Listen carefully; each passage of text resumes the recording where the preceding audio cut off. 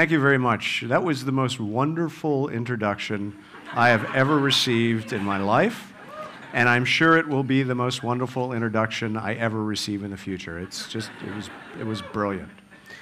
So I'm really pleased to be here. Uh, the organizer, Jay, invited me to come last fall, and my schedule was very, uh, very tight. And uh, Jay was very persistent, and he convinced me that I needed to come. And I'm actually, I'm so glad I did. This is one of the most interesting lectures I think I've ever given. Good. So let's get started. I'm going to tell you a story. It's a scientific detective story that starts 1.3 billion years ago when these two black holes all right, which you actually saw in that beautiful dance that we had earlier, dancing around one another.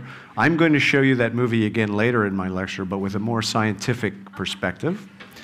All right, these black holes collided about 1.3 billion years ago. Now, we're going to skip almost all of that 1.3 billion years, and we're going to come to Einstein. And Einstein had a revolution, and I, I didn't know that Einstein said that when I saw that introduction, but it was quite. Einstein had a revolutionary idea about gravity in 1916, so literally almost 100 years ago. And I want to use this picture to illustrate how we thought about gravity before Einstein and how we think about gravity after Einstein. Forget about that green grid on the bottom that you see there, those green squares. Just pay attention to the sun and the earth. In the 1600s, Isaac Newton, another brilliant physicist, came up with a, also a revolutionary idea about gravity that objects that have mass, that have stuff in them, are attracted to each other. And he came up with the universal law of gravitation that basically said if there's mass here and mass there, the force of gravity that attracts them, the force that holds you on the planet, all right, is proportional to your mass times the mass of the planet, the Earth here, all right, and it's inversely proportional to the square of the distance. So you measure the distance and you divide by that, and then you divide by that same distance again. And then there's a constant, and that constant is called big G for the physicists. It's the Newtonian gravitational constant. Now, that was a wonderful theory. It predicted, for example, the orbits of planets. We use it to put uh, satellites in orbit. Uh, it's, uh, it's something that you experience every day of your life. But it had a fundamental problem, and even Newton himself knew the problem.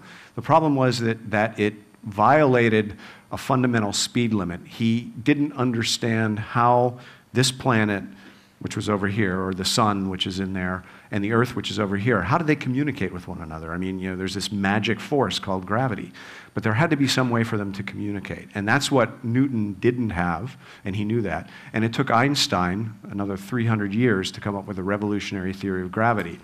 And it was so revolutionary that most people didn't understand it. And I'll just be brief about this, but that, that now think about that green uh, background there. And Einstein's theory is I won't even say it's simple, but it's, it's really, really elegant. He says basically that matter and space interact with each other. So Einstein said that E equals mc squared, matter and energy are one and the same. He said that space and time are one and the same. And then in general relativity, he brought it all together. And he said that matter and energy interact with space and time. And what you're looking at in that green grid there is the geometry of space time. Now, I can't display it in three dimensions, I can only display it in two dimensions. All right, but what happens is when you put a massive object in empty space, the space warps, it changes, it curves. The geometry, the fundamental geometry, the fundamental way you measure straight lines and you measure distances is altered by the presence of the mass. Right? But the mass interacts with the space in such a way that when you put other masses in, like the Earth, the reason the Earth is orbiting around the Sun is not because there's this magical force called gravity. It's because the Sun is warping the space. The Earth happens to be near that in a region where the space is warped, and it's trying to travel in a straight line, but for it, a straight line is a circle around the sun. It's like if you have a cone and you put a penny in the cone, it spins around and around. That's exactly what we have here. So, we, so general relativity tells us that matter warps space time, and that space time tells matter how to move. All right, that, that was revolutionary. Uh, it took a lot of people a lot of time to really understand the consequences. It predicts black holes, for example. All right, it also predicts something called gravitational waves. All right, suppose I have two objects that are orbiting around one another. When those objects are orbiting around one another, the space is now dynamically changing. So it looks some, something like this. As the space dynamically changes, the ripples travel outward eh, on this fabric of space time, and they're carrying energy away. So these gravitational waves are radiating. In this case, they're two black holes. Those two black holes slam together. And when they slam together, they produce a big burst of gravitational radiation, and they leave behind a bigger black hole. Right? So the movie I just showed you was a really nice artist conception of how you can think about gravitational waves. But now I'm going to get a little more technical, not too technical, but I want you to understand how we measure gravitational waves. In order to understand how we measure gravitational waves, we need to understand physically what they really are. All right, a gravitational wave, all right, you might, you're familiar with water waves, you're familiar with sound waves, you're probably familiar with light waves. They all are fluctuations, basically, they're, they're changes in, uh, in the size of something, the size of the, the, the sound, the amplitude of the sound wave, the amplitude of the uh, water wave. Gravitational waves are, are fundamentally the same thing, except what what's changing is not the distance itself, it's the distance over a baseline. So a gravitational wave is a strain. The best way to understand a strain is to take a bar. If I take a bar and I put pressure on it, the bar will shrink because the atoms are getting closer together because there's force on the bar all right? And they'll change by a distance. And the, the strain, basically, the more force I put in the bar, the more I strain the bar. The longer the bar, the more I change the bar. That's what a gravitational wave is. Okay, so you guys now are all going to be gravitational wave detectors, and I'm going to send two gravitational waves towards you. Here they come. All right. So what's happening in these, this little cartoon here is a gravitational wave is propagating towards you, and it's stretching space in one direction and it's compressing space in the other direction. All right, so it goes this way, it goes this way. And then there's another form, another polarization of the gravitational wave, much like light waves, that's a little bit, it's 45 degrees cockeyed. Now, here's the thing, all right, that if you are near this arbitrary reference point and you ask yourself how much this, the, the L here, this change in length is happening, it's very, very tiny. If I go a little bit further away, it's a lot bigger. So the more, the, if I pick an arbitrary point and I want to measure a gravitational wave, I want to move as far away from that point as possible because the effect scales as the length, all right? Now, that's the fundamental problem that we face is how do you measure a strain? And, and again, what's straining is not matter, it's literally space itself. If I were to put a ruler here, the ruler would stretch like this back and forth, and it would stretch like this back and forth. All right, so we get our heads around that concept, and we then say, okay, first of all, how would I measure that? And second of all, how big are these waves? How big are these gravitational waves? All right, here's the challenge.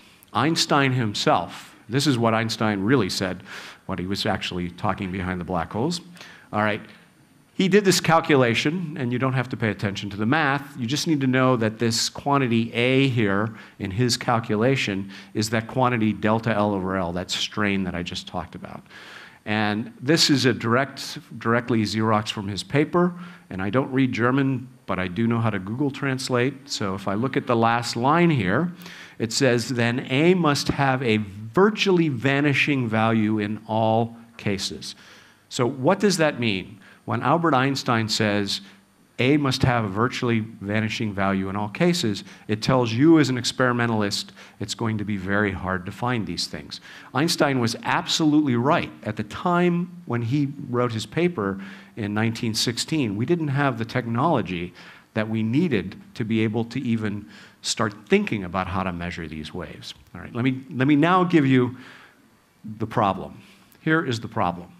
Suppose I want to generate a gravitational wave in my laboratory. Right? The way you generate a gravitational wave, I've already told you, is you have two massive bodies moving around one another. In fact, any object that accelerates generates a gravitational wave. The challenge isn't one of generation, the challenge is one of amplitude. How big are these waves? So this guy is a mad scientist. He has two 1,000 kilogram masses. He separates them by about a meter and he spins them around a thousand times a second. All right, first of all, you'd be crazy to try and do this experiment yourself just because the masses would fly off and kill people. But he's a, he's a mad scientist. So he does this experiment, but what he doesn't realize is that the size of the effect, the delta L over L, is 10 to the minus 35. So that's 0.34 zeros and a 1. All right, so that means the change in distance over this distance would be 10 to the minus 35 meters. I, I don't even know how to think about how small that number is.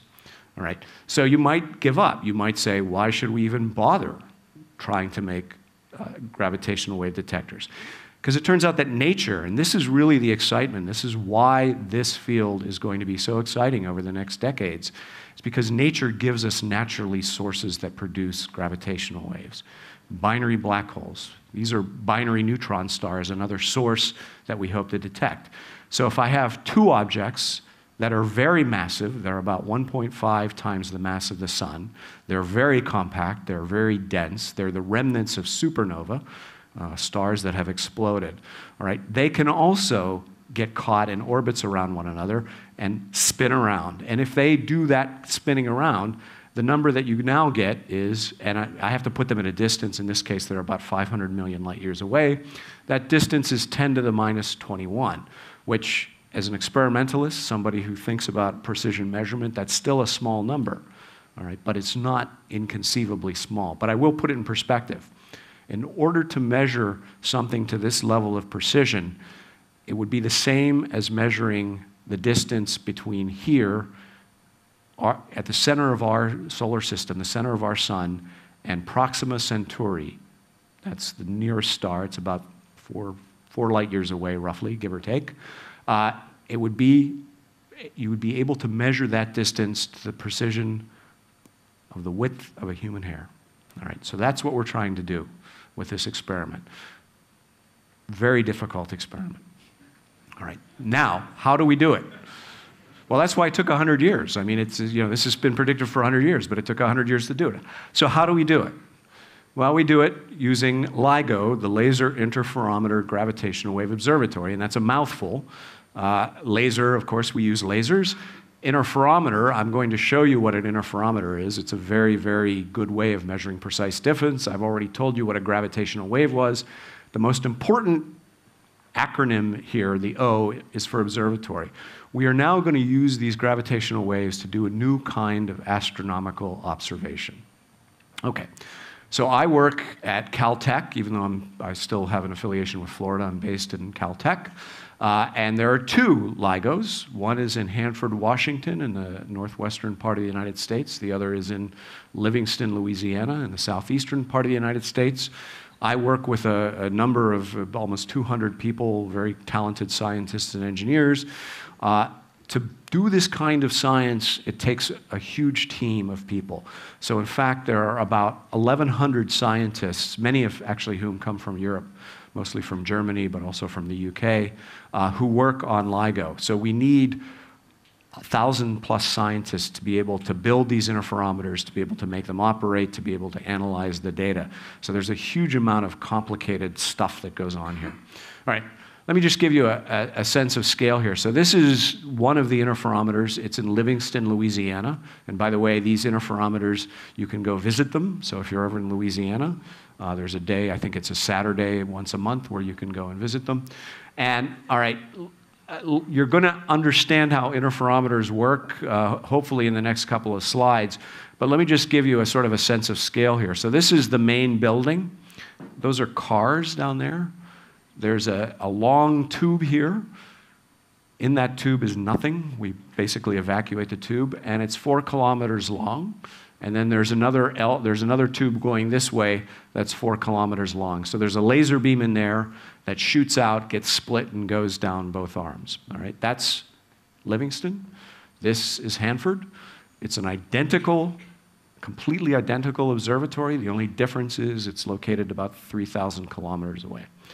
All right, and again, it's four kilometers. Now, I want to come back to this concept of delta L over L, and this will be the last time that I hammer this home, but I just want to make the point. All right, so RL in this case is four kilometers. So, in order to be able to measure 10 to the minus 21, we need to be able to measure delta L to the level of 10 to the minus 18 meters, give or take. How small is 10 to the minus 18 meters? It is about one one thousandth the nucleus of an atom. Not an atom, but the nucleus of an atom. Right? So we are measuring a distance change over that four kilometers to a level that is one one thousandth the nucleus of an atom. That is pretty mind boggling. Okay, all right, here's how we do it. All right, we use a wonderful property of light, the fact that light has waves. So we use waves to detect waves. We use light waves to detect gravitational waves. Here is a very nice um, it's not a cartoon, it's really a nice schematic of how an interferometer works. So this is, a, this is our laser. Uh, this is a, we call this a beam splitter. So this is basically, LIGO is this, but it's much more complicated than this, but if you understand this, you'll, you'll, you'll get a sense of how this works. Here's a beam splitter. So the light's gonna come out here and it's gonna get split. This is one mirror. So this is, four, in, our, in the picture I showed you before, this is four kilometers away. This is four kilometers away. The light comes back. This is something called a photodiode. Uh, it's basically like you have in your DVD player uh, that records the light. All right, so now what I'm going to do is I'm going to shoot the beam out. The beam has waves, so the light waves are, are coherent. We've color coded them so you can see. So one wave travels, one light beam travels four kilometers, reflects off, comes back. The other light wave, the other arm comes back and when they come back, they interfere such that they cancel each other out in this direction and all the light comes back this way. But now what happens when a gravitational wave comes is it stretches and squeezes, like I showed you before, the, arm, the arms of the interferometer, such that you see an interference pattern over here. So what this interferometer is doing is it's measuring those distance changes of 10 to the minus 18 meters, and it's recording them as basically light fluctuating light waves on this photodiode here. Now, the, the graph, the waves that we use, the light waves that we use are about one micron long. So in fact, this grossly still exaggerates that. So we're actually doing this kind of interferometry a trillionth of a time better. So we measure a distance change to about one one trillionth of that wavelength. So, so that's the basic idea. All right, now it's, it's very complicated to do that in practice. And the reason why is that there are a lot of things on the Earth that can move mirrors at a level much larger than uh, the, pro, the, diameter of a proton. So, so in order to make it work, we have to put everything in a vacuum. Uh, we use lasers that are the world's most stabilized. So this is in that, state, that picture that I showed you before. This is the end station. So there's a laser here. Uh, the beam splitter that you, that you saw on the uh, mirror is in this vacuum tank right here. This is one arm, this is the other arm going this way, uh, and the photodiode that I showed you was really over here. And you can see that it's a much more complicated interferometer. This, the, the advanced LIGO interferometer that we built uh, cost about $70 million each to build. All right? And that's because you have to do things like isolate the, the mirrors from motions in the ground, from earthquakes, from things like that.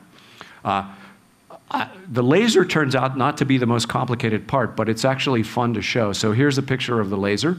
Uh, and here are two gentlemen working on the laser. We, we, we, we work in ultra clean environments uh, because of the contamination is very bad for the laser system. So, so that's basically the idea. And I didn't get into too much of the details of how we do the, how we make the interferometers work. It's, uh, a lot of people spend a lot of time working on these interferometers. I can answer any questions you might have later on. Now I want to turn to really the fun stuff, the payoff. So we built these interferometers. Uh, we just went through a major upgrade. So we, we started in 2008 constructing these interferometers, and we got them working in 2015 and we switched them on. And literally, when we switched them on, we saw uh, uh, our first signal. And this is what we saw. And I'm going to show you the movie that you saw in the dance, but I'm going to give you a more technical explanation for, for what's going on here. So, so there are two black holes 1.3 billion years ago. The first black hole is about 36 times the mass of the sun. And by the way, maybe I should step, take a step back and tell you what a black hole is. A black hole is actually a very simple entity.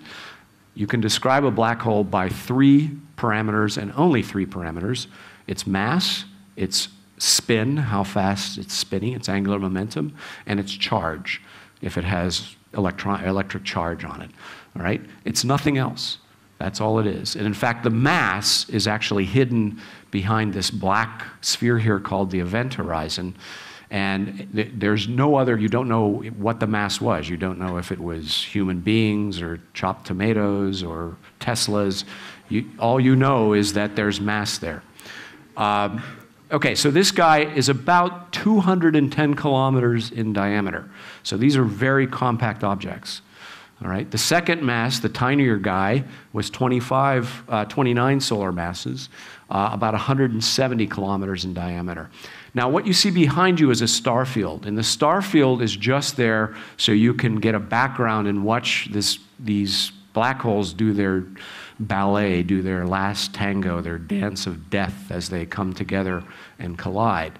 And I'm going to I'm going to show you a simulation. The simulation is not a Hollywood production, even though I'm from near Hollywood. It's, a, it's, a, it's an actual calculation of using Einstein's theory of general relativity that is rendered graphically, so you can see this. So what you're literally seeing is the picture of these black holes uh, that we saw. Uh, and uh, so what's, what's going to happen is you see the star field is distorted here. And if you'll remember at the beginning of my presentation, I showed you that space time is warped, the space is warped. Well, as light comes around, it bends. So, what you're seeing is the bending of light. And it turns out that it just so happens that, that some of the light you know, focuses and forms into this sort of ring, these rings here. So, all right, so let me play the movie. It's slowed down a thousand times. The objects, when they collide, are moving at half the speed of light. That's quite fast. Here they go. All right, so they're spinning around. And if you watch carefully, so you know they're spinning because you see the star fields behind them spinning, but you watch carefully, they're getting closer together. And as they get closer together, they actually move faster. Their orbit is decaying and, and the uh, speed is speeding up. They'll get closer together. Eventually, their event horizons will touch. There's the touching, and you'll see that big blast burst. You see that star field do that. That's a burst of gravitational waves coming out of the, as these guys collide. All right, now, what's left over? This black hole here is 62 solar masses, and if you do the math, you realize something's wrong. Start with 36 solar masses, put 29 solar masses together with that, you should have 65 solar masses. We don't. We have 62 solar masses. What happened to the remaining mass? Three solar masses, the equivalent of three times the mass of the sun, was converted into gravitational waves in about in less than a second, about two tenths of a second. So take the sun, take three times the sun, poof, two tenths of a second converted to gravitational waves. That it, you don't want to be near that when it happens. All right? That's, that, this truly is one of the most violent events in the universe. And I can put this in perspective too. There's another way to think about this. You can think about it in terms of the radiated power. We call it the luminosity. All right? How much energy was radiated in that small period of time? All right? What, that's a power.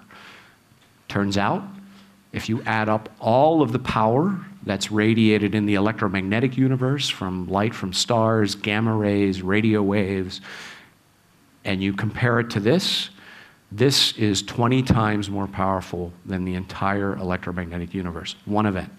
All right. So yes, that yes, it's hard to get your head around that. I mean, when I, when I heard that, I went, "This is crazy," but it's that's what we that's what we measure. That's what we're able to see. So here are the waves, and these are now iconic waves. Um, this is what we saw at Hanford. This is what we saw at Livingston, and you might go, it just looks like a bunch of squiggles. And it is a bunch of squiggles, but there's a lot of information in those squiggles. And the information is encoded in how fast the wave frequency or wavelength is shrinking and when the wave dies. So you know a lot about the, the black holes. That's how we get the information that I just told you as we analyze these waveforms. And they even tell us how far away uh, the black holes are. Um, Okay, uh, just to put a point on it, you can calculate how much space time shrunk and grew during the passage of this gravitational wave. And the answer is 4 times 10 to the minus 18 meters, a little bit bigger than, uh, smaller than a hundredth of the diameter of a proton. So this is, this is pretty small. Okay. I'm going to play that again. What you are about to listen to is the sound of two black holes colliding. How did I make this? I made it by basically taking the signal that you, you see on that photodiode, all right, and putting it into a speaker. So I'm playing it three times. So that thump, thump, thump is the rippling space-time that passes through our instrument and records there. Now, if you look at the signal, you'll saw that, okay, this is a, this is a complicated graph. This is time, and this is frequency. So this is higher pitch, and this is lower pitch. And you saw that it it's kind of pitched up. All right, we call this a chirp. And I'm going to play it again, but I'm now I'm going to put an arbiter, I'm going to shift the whole frequency up by 400 hertz. So basically get it into the middle of your audio band. Sounds a lot better.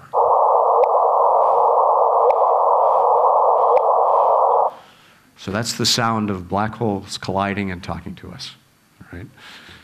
It's the first note in the symphony of the black hole universe.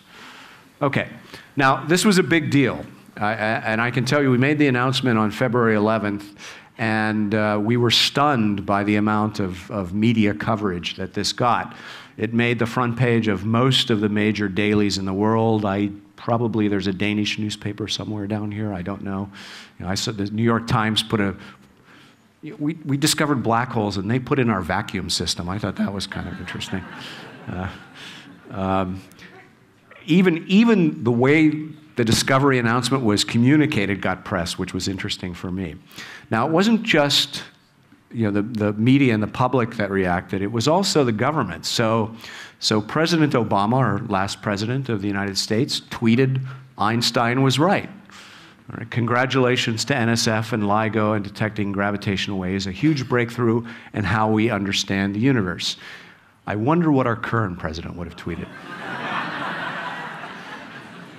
but President Obama was outdone by Narendra Modi, the Prime Minister of India, who tweeted not once but twice.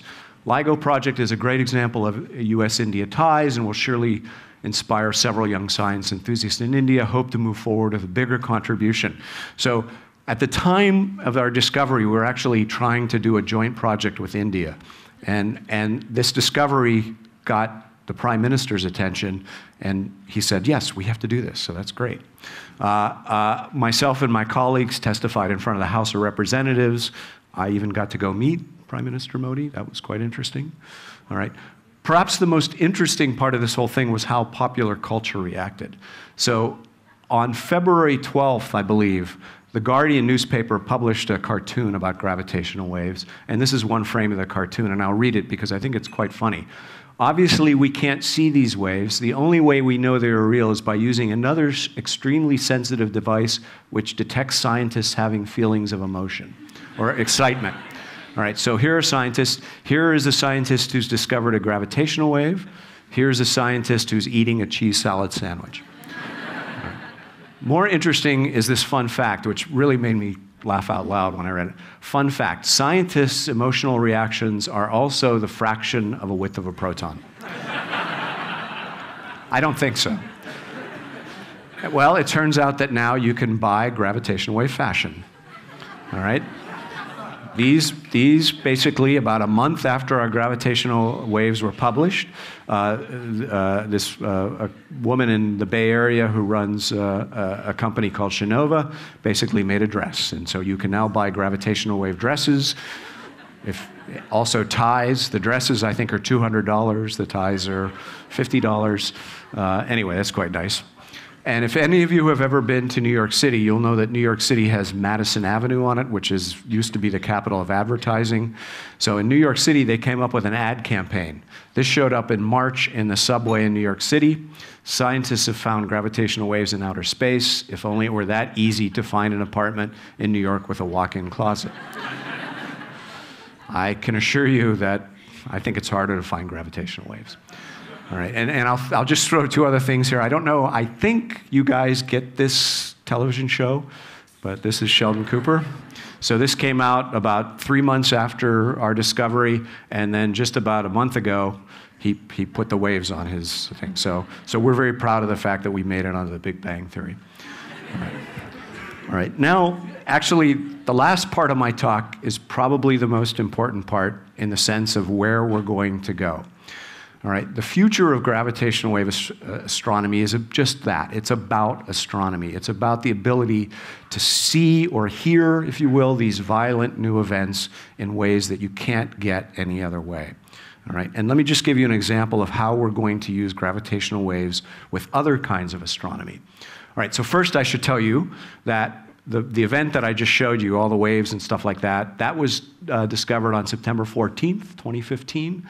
Um, it took us about five months to, go public with it because we were very careful. We wanted to make sure we completely understood everything. Uh, another reason it took so long is we had to write a paper, and uh, there were a thousand authors on that paper. And if you've ever tried to write a paper with a thousand authors, it turns out to be a challenge. There was another event, we call it a candidate. It wasn't statistically significant. In other words, we couldn't confidently call it a detection, but it probably was a binary black hole. And then there was a, a, another one uh, in December that was definitely confirmed. So, so we've seen at least two black hole collisions and maybe even three black hole collisions over this period of about four months from September uh, 2015 to January of last year. All right, and why is that important? It's important for the following reason everything we know about stellar mass black holes comes from a branch of astronomy called X ray astronomy, where there are satellites in space that are looking for X ray emissions from basically black holes that have stars that are orbiting around them, and the stars are getting sucked in. All right, the matter from the stars getting sucked in and accelerated, and emitting X rays. So, X ray studies have revealed approximately 25, a little less, stellar mass black holes. So this is the mass of the black hole. That's 10, that's 70. All right? And these are all of the eh, black holes that we know from X ray studies. Now, I would argue that LIGO is somewhat unique because every time we detect a black hole, we get three. All right, we get the two that collided, and then we get the one that comes after. Admittedly, these two no longer exist. These two no longer exist.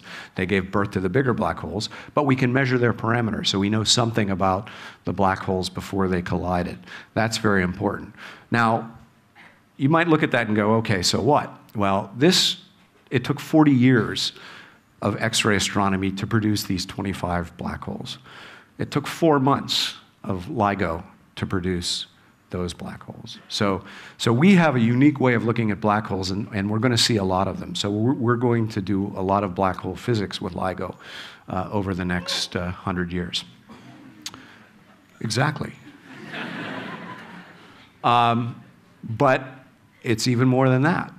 All right, so let's go back to that binary neutron star collision that I talked about earlier that I showed you the uh, um, picture of. So when they collide, neutron stars have matter, they have stuff in them. And when stuff collides, it not only produces gravitational waves, it produces electromagnetic radiation. And it does so with a bang. It produces gamma rays, it, we believe it produces optical radiation, radio, radio, uh, radio waves.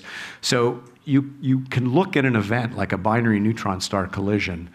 And by the way, these are very important because we believe they are the source of all the heavy elements in the universe. So, in other words, all the gold, if you're wearing gold right now in the audience, my, my wedding ring is gold, um, it was produced probably in the collision of a binary neutron star a billion or two or three, five billion years ago. All right, so this is important stuff to study. Uh, if you see it in gravitational waves, you might also be able to see it in, in visible and infrared radiation and radio waves, and it might produce neutrinos, another kind of information carrier uh, and you might be able to see it in X-rays and gamma rays. So if you can look at this kind of source using the spectrum of astronomical tools, including gravitational waves that we now have, you're going to get much better, more unique information. This is going to be the key, we think, to unlocking the secrets of how these guys collide together. Um, okay, how do you do it? Well, you've got to be able to detect things quickly because most of this light comes out very quickly, within a few seconds, maybe a few minutes. Some of it takes days and maybe even weeks, but the quicker you can look at it, the more likely you are to catch it. So you've got to be able to quickly identify a gravitational wave. Remember, I told you it took us five months from the time we detected our first gravitational wave to the time we published a paper. Well, that's not good enough. So we want to do better, and we can do better. And the way we do better is by identifying where the gravitational wave came from, all right? For reasons that I won't go into, interferometers that I showed you are more like microphones. They pick up signals from any different direction. So in order to localize a gravitational wave source, in other words, to say it came from over there, or over there, or down there, and they do come through the Earth, by the way, or over there, uh, you have to have multiple detectors that can triangulate the source of the waves. All right, and that's what we're doing. So these are the two LIGO detectors. There's a detector that will become operational in Italy, outside of Pisa, Italy, hopefully in a couple of months. All right, and by quickly identifying the sources, we can then tell our friends who operate telescopes and astronomical observatories, go look there, go look there. All right, it turns out to be challenging with two interferometers, and th these are basically what we call them sky maps all right, where you can say, where was the event likely to be? Uh, and so this is the September 14th event. You, you, okay, so to put this in perspective, this is basically taking the sky and projecting it in a globe, and you and I are at the center of the globe, and we're looking around and we're saying, where did the event come from? All right, and that's the Milky Way, just to put in perspective. All right, well, in this case, the event came from this broad area of the sky, in the, in the cases of the other two events, the, the Christmas event and the, um, the candidate, we call it, it came from over there. This is, if you're an astronomer, if there are any astronomers in the room, you're probably aghast. You're saying, I can't find anything. That, that's way too big. So we've got to do better. And the way we're going to do better is we're going to build more observatories. So in addition to Virgo and the two LIGO observatories, there's an observatory in Germany that's actually operational right now, a little shorter, maybe not as sensitive. There's a uh, uh, detector in India that's going underground, I'm sorry, in Japan that's going underground. And then uh, after I leave here tomorrow, I'm going to India because we're working on a, a, detector in India that will actually be a clone of the two detectors over here. And so with these five gravitational wave, actually six gravitational wave uh, detectors, we can do much, much better. So if you'll remember this picture, you can compare that with this picture, which is a simulation. And now that may not say much to you, but what it says to astronomers, these little small circles here are the error boxes or the places where you can localize the wave. So instead of saying the wave is somewhere over there, you can now say it's kind of over there. And the astronomers get really excited about that. So I would say in the next five to 10 years, you're going to be hearing something called multi messenger astronomy with gravitational waves and you heard it here first. All right. Now, let me tell you something else that's going on, and it's really the effort is sort of led here in Europe. Uh, there are plans to build even bigger gravitational wave detectors. Why would you want to build bigger gravitational wave detectors? Well, it comes back to that strain, that delta L over L. If I can make my baseline instead of four kilometer arms, let me have 10 kilometer arms. That means I can make my interferometer two and a half times more sensitive. That means I can see two and a half times further out. That means I can see about 20 times the volume, 18 times the volume. So there's a plan for the Einstein telescope to be built somewhere in Europe, sometime in the next decade, in the 2020s. And it's really cool. It's an underground interferometer it's configured like a triangle, so there's not just one interferometer here, there's three interferometers here. We're going to use cryogenics, we're going to cool mirrors, we're going to use different kinds of uh, way. It's the kind of thing that I get excited about because I'm, a, I'm an instrumentalist, you know, I'm going to be able to build new stuff and, and, and get in here with this. So this is going to, this is going to happen. The other thing that's going to happen, and, and this is I, I, sort of the end of my presentation, is that it's not just what we're doing with LIGO and with the Einstein telescope and with Virgo, the ground based interferometers. Like electromagnetic waves, gravitational waves come in all wavelengths, uh, from, from very short to very long. So if you think about the gravitational wave spectrum, you, the first thing you think about is LIGO. We detect waves that are, are short. The period is very short, uh, the wavelength is short, uh, periods of milliseconds. So the gravitational waves that we detect come from compact, violent events like black holes colliding against black holes, neutron stars colliding against neutron stars. When a star explodes in our galaxy, we should be able to see a gravitational wave there. There are also projects that want to look further out into the spectrum. The next project that is uh, really going to launch, again, sometime toward the end of the next decade, is LISA, the Laser Interferometer Space Antenna. They'll be looking for a different kind of source, same technique, interferometry, a different kind of source. They're going to be looking for intermediate mass black holes and they're going to be also looking for phase transitions in the early universe. This is the stuff that cosmology is made of. It will tell us something about how our universe formed. All right? Going even further out, we can use radio telescopes to time the arrival of pulses that are emitted from spinning neutron stars. So, one of the most precise types of astronomy in the world today is radio astronomy. you have neutron stars that are spinning around. They beam pulses, uh, radio pulses out, and they're the most precise clocks that you can measure. And by measuring the differences between the arrival time of different pulsars located in our galaxy, it turns out that you can map out gravitational wave emissions from colliding galaxies, from supermassive black holes that in the centers of galaxies that collided together. This is kind of exciting. The last thing that we will do, and this is, I think, really the holy grail of gravitational waves, is the Big Bang. So during the birth of the universe, the moment that the universe was born, that you know, basically this violent explosion produced an expansion in space-time, produced atoms and molecules and light, all right?